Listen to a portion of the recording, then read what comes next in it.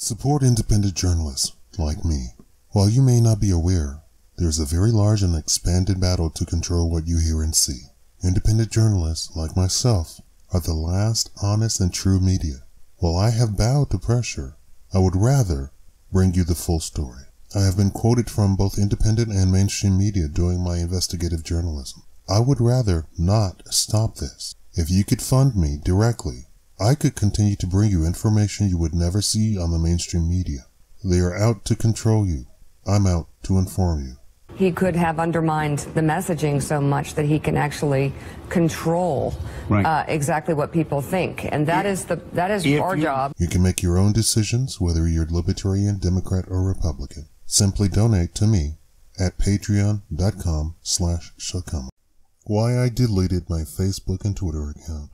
After 10 years of trying to generate interest in myself, my brand, my YouTube, my online stuff, the time and effort I put into the studying and research I did on the subject generated next to nothing.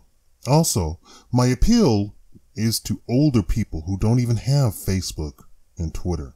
And no amount of me begging for them to remove themselves out of the spotlight so that more tech savvy, social media exposed users could come to the forefront generated any sympathy, nor did they even understand what I was talking about. This notion that 50 year olds don't get it crystallized when I moved into this trailer park and two 50 year old male neighbors befriended me.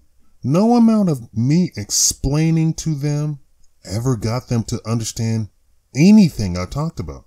So clearly, me trying to generate interest for 10 years among 50 year old men for Twitter and Facebook is a losing battle. I've also canceled all my business associates associations from companies trying to contract with me should I ever get to 5,000 Facebook friends and 5,000 Twitter followers. As Kevin of the Shark Tank would say, kill it. Put it out of its misery. I just couldn't get above 3,000 Facebook and Twitter followers. No way, no how. And even with 3,000 followers, no one ever talked to me. And Twitter destroyed any third party app that allowed me to force inactive users to unfollow me. The most active users on Facebook and Twitter each had 100 followers between them. You can't build an empire like that. So there you have it. I deleted both accounts. I need to delete more accounts. I'll see you around.